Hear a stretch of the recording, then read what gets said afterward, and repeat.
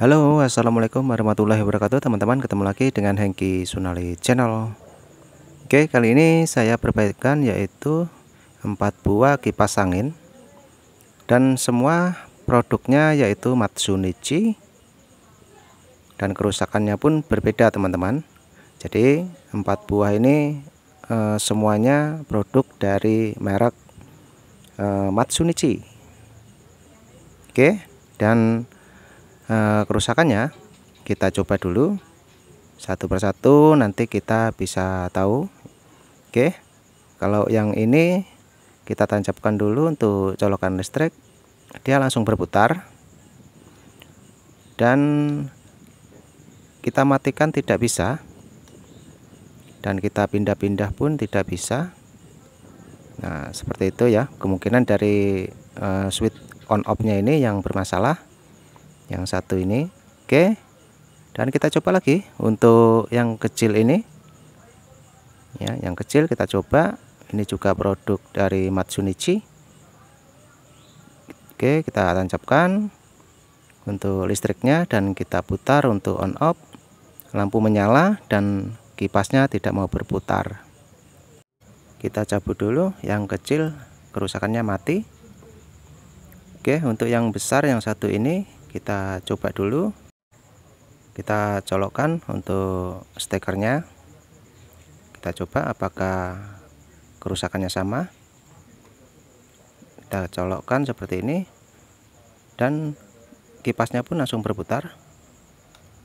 Kita matikan bisa. Namun untuk eh, selektor 1 dan 3 itu tidak fungsi ya teman-teman.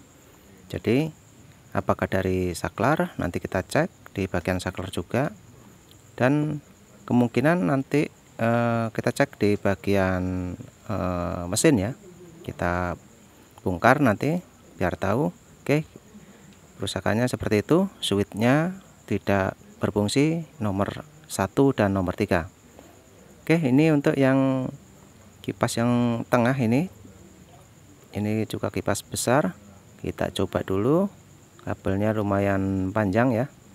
Ini tadi eh, sempat dibawa ke sini sama yang punya keempat-empatnya oke saya tancapkan.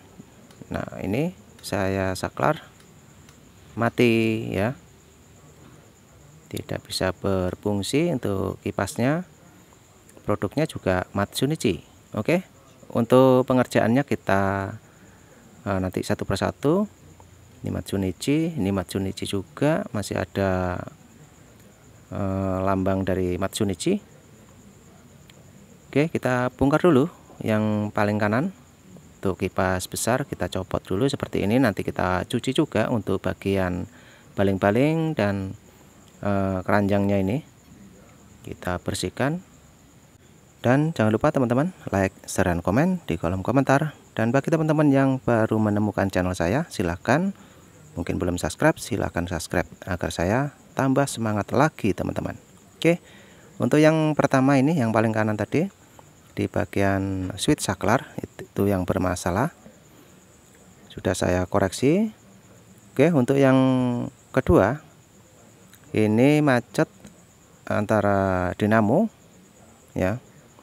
Dan untuk yang besar juga yang paling kiri itu di bagian switch saklar nanti saya koreksi.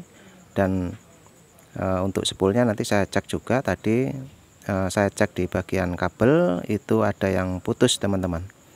Yaitu e, jalur 1 dan jalur 3 Oke ini keranjangnya.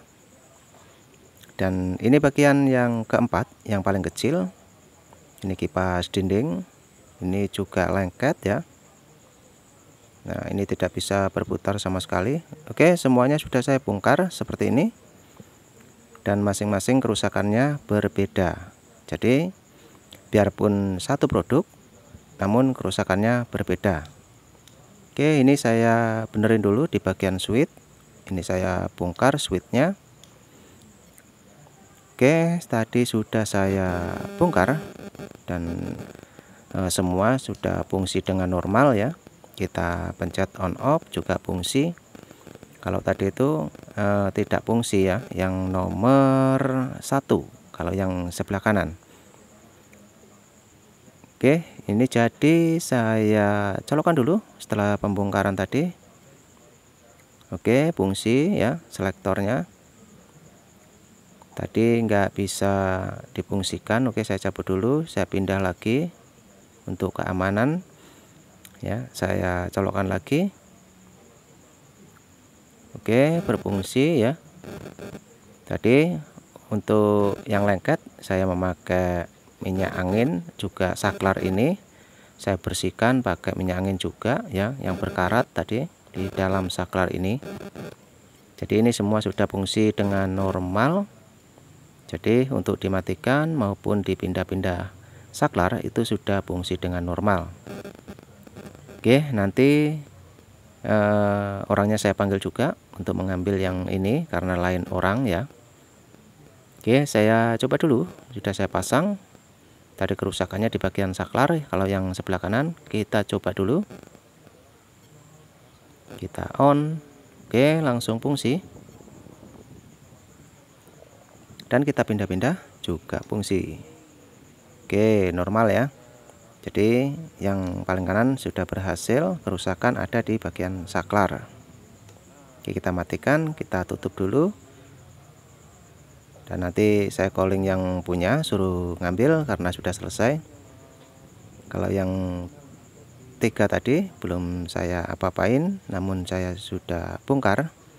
Saya cek satu persatu oke ini saya lepas dulu dan tutupnya mau saya pasang Oke teman-teman. Ini juga yang tadi sudah selesai. Nah ini saya mengerjakan yang nomor dua tadi yang paling tengah. Ini yang lengket sekali. Kita bongkar dulu untuk mesinnya.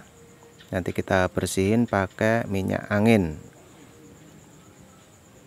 Oke setelah saya bongkar seperti ini ya. Saya tetesin pakai minyak angin. Ternyata eh, belum bisa fungsi namun setelah saya cek di bagian uh, dinamo itu udah kebakar total ya. Jadi tidak bisa dipakai. Jadi uh, kalau yang kecil ini saya bongkar dulu. Nanti juga yang besar itu. Namun yang kecil ini saya bongkar. Apakah kerusakannya sama? Nanti kita cek antara yang lain apakah kerusakannya sama ya kita bongkar dulu untuk yang kecil ini. Ini lengket juga. Ini kipas dinding teman-teman. Jadi satu produk kerusakannya pun berbeda. Jadi lengket sekali. Dan saya mau bongkar untuk dinamonya. Apakah masih fungsi? Dan ternyata juga kebakar untuk dinamonya sama seperti yang nomor dua tadi. Nah ini ya. Jadi untuk yang nomor tiga ini saya bongkar. Dan setelah pembongkaran saklarnya itu ternyata tidak apa-apa ya. Yang ini normal saklarnya. Namun eh, kerusakannya untuk yang besar yang warna biru ini ada di bagian sini ya.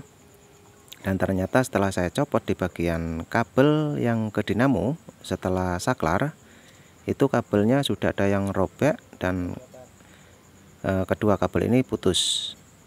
Nah ini ya bekasnya. Jadi e, kerusakannya sudah ketemu.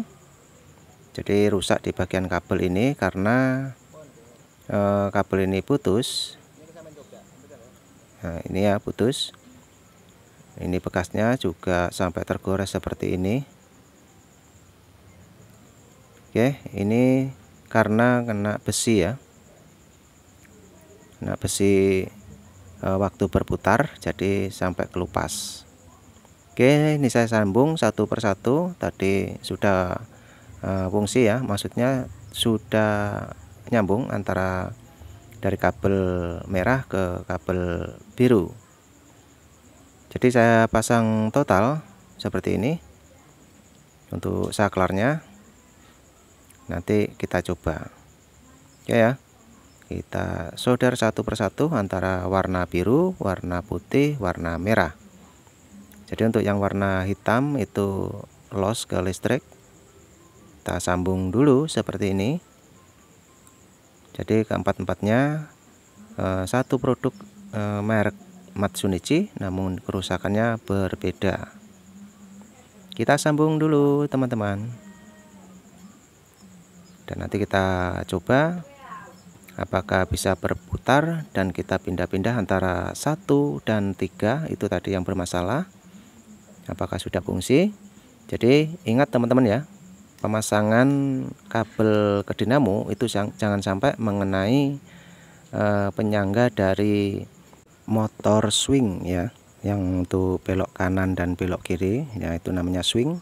Jadi uh, itu biasanya kabelnya nyangkut di situ. Nah ini saya coba sudah fungsi ya. Yang tiga sudah fungsi yang satu juga fungsi yang nomor dua juga fungsi. Jadi uh, untuk yang terakhir ini bisa langsung jadi kerusakan ada di bagian kabel yang masuk ke dinamo. Itu putus teman-teman ya. Oke setelah saya coba saya pasang. Kipas sudah fungsi kembali Oke jadi ingat teman-teman ya. Tadi kerusakannya berbeda ada yang bagian switch saklar juga ada di bagian kabel dinamo juga ada eh, dinamonya sendiri yang rusak.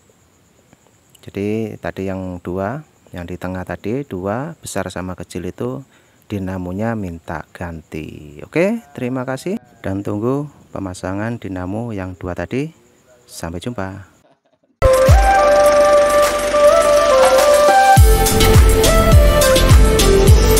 Oh,